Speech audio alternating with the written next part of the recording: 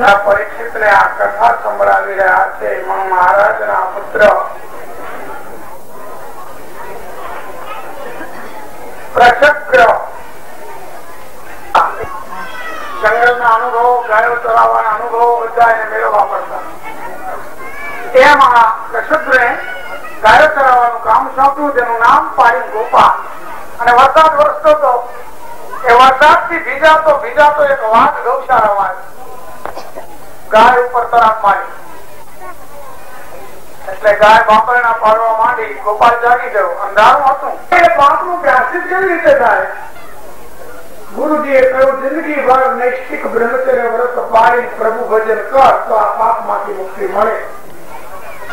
કવિ હતો, એ પણ વિદ્યાર્થી પર હતો. એ રાજાને પુત્ર પરિવાર કે ઈચ્છતો નહોતો.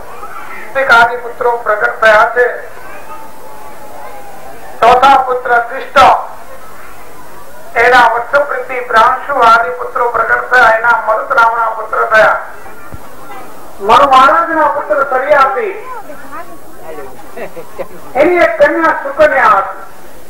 બહુ લાગતી હતી. રાજા જ્યાં જાય તેના ભેગી.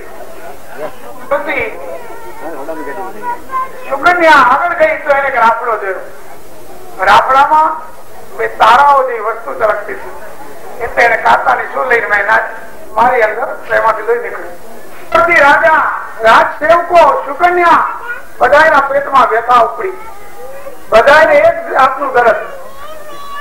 રાજા ગાયો હતો, સમજી ગયો બધાને એક સરખું દરદ થાય નહીં કોઈ. લઈ નીકળ્યું દીકરી ગજબ કર્યો જાતે સ્થાન બતાવો. નેત્ર નાખ્યા. ક્ષમા આપો આ દીકરી જિંદગી ભર આ પાપનું પ્રાયશ્ચિત કરશે એ માટે હું તમને ભણાવું તમારી સેવા કરશે જિંદગી ભર. તારે આ પાપ માનશે